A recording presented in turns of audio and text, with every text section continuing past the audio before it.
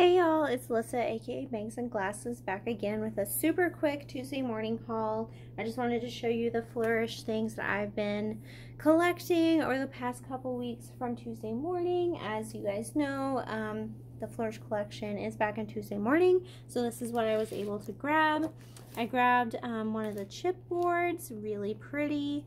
Um, I think my favorite piece on here, I love the buildings, I love the little flower truck, and the paint by number. I was also able to find the 6x12 stickers, um, which I think I already have, but it's always nice to have duplicates. I also found the puffy stickers, which I don't think I have. So those are really fun. Love the little puffy flower there. I also found the um, waterfall pack of stickers. I love that has phrases on it. Um, we got some more phrases there and just some alphas. Really cute.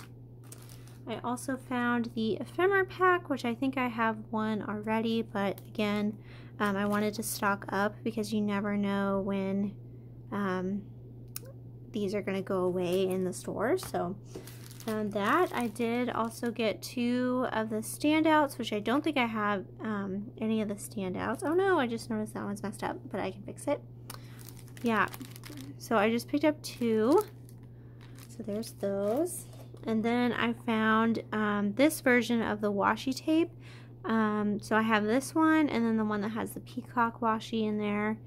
Um, this one was $4. There is another set of washi, like a third version of the washi that I've seen someone have, but I don't think it's that Tuesday morning. And then I just picked up some more of my favorite tape runner.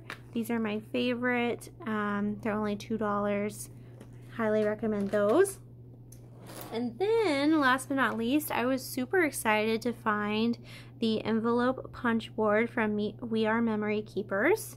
Um, I've been waiting and waiting for them to get the full-size envelope punch board in stores. They've always had the mini one, but this is my first time seeing the full-size one, so now I can make my own envelopes. I'm really excited. It's only $10. So yeah, that was my super quick Tuesday morning haul.